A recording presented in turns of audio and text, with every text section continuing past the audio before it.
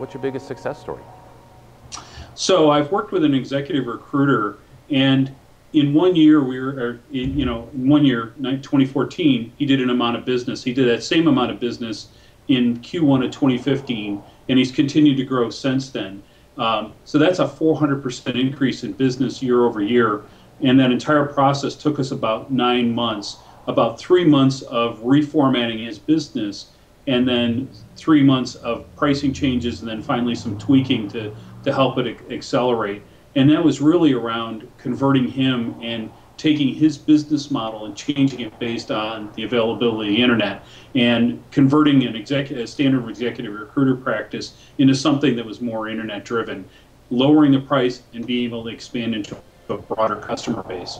Wow, so 400% improvement in nine months. That's, that's pretty remarkable.